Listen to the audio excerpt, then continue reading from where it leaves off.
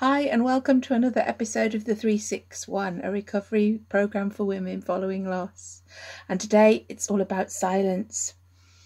So the question is silence to fill or not to fill? That is the question. What is it about silence? One, the two sides of silence.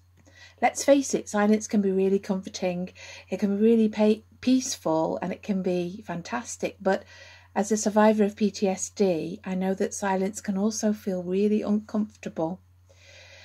It's kind of like what's in the silence. And one of my things that I wrote recently, and it just, as I wrote it, I just thought, wow, was the silence. The shame is in the silence. I'm not quite sure what it really means, but it sort of spoke to me that in a lot of silent treatments that we receive from people, there's a kind of shame in there.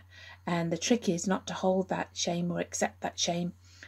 Um, and there's other kinds of being uncomfortable in silence for people who just won't shut up and they talk constantly, don't they? Annoy you. I've just been in a library where someone wouldn't shut up. And it's almost like they're scared of silence. So in marriage number one, I was married to somebody who was scared of silence and would use anything to cover it up talking, TV, music. And so we were never silent. And I realised now that was a bit of fear. And in marriage number two, silence was used as a control mechanism. I wonder if anyone else has experienced this. So there was a horrible silences um, that were kind of scary, and it was used as some form of coercive control, along with eyeballing. Hmm. So the two sides. Two, the sound of silence to be honest, there really isn't a silence. You're going to say, oh, yeah, it's really silent. I go and sit in nature, Alice. But actually, when you sit in nature, it's quite noisy. There's all sorts of things going on. So the trick is to realize there is no totally silent place for most of us every day.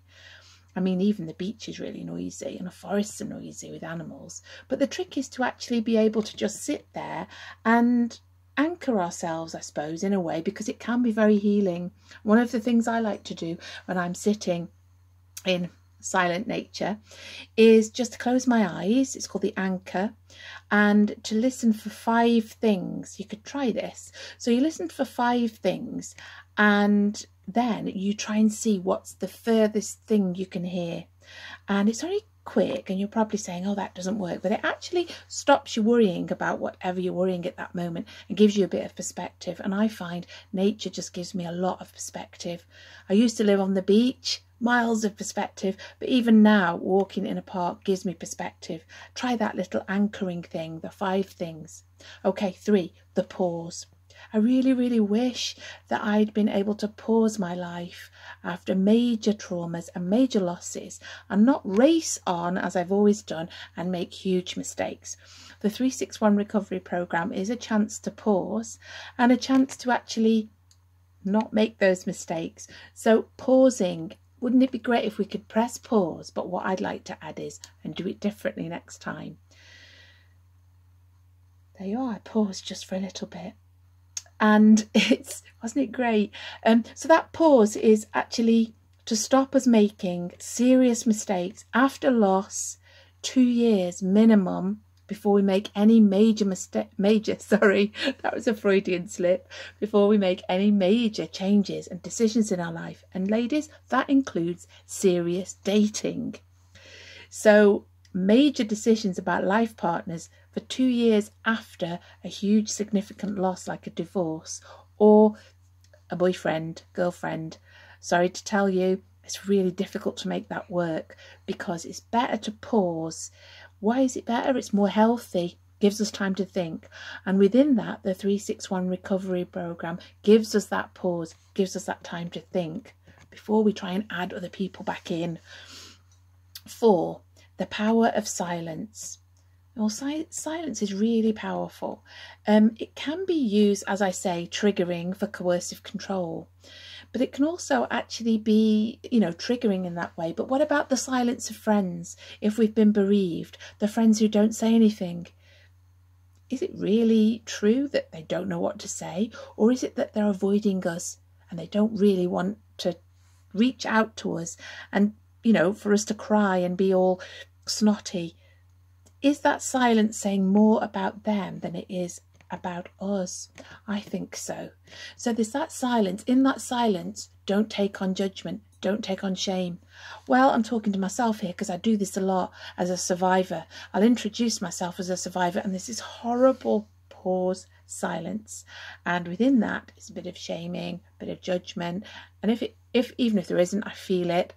And the trick for me is to try not to accept just let that silence ride because I am who I am, as that singer said. And five, touch talks. Have you ever been around the bedside of somebody who's dying? Just shut up. Just be quiet. The silence talks. Hold someone's hand. Don't say anything. Get used to this. Get used to try not saying anything when someone's really upset See how powerful that silence is. It really is. Hope this helped. Think a lot about silence, really. As I say, because of the two sides, the coercive control, and now I'm in the powerful healing silence. The 361 recovery program is coming out to you. It's for women. It's coming out twice a week on YouTube, Monday and Wednesday at 7, and a blog following. So tomorrow there'll be a blog on silence. Um, it's also available online, and there's chance to do one to one coaching with myself. There's a book coming out, and lots of other things to help you recover from loss. Um, so keep watching and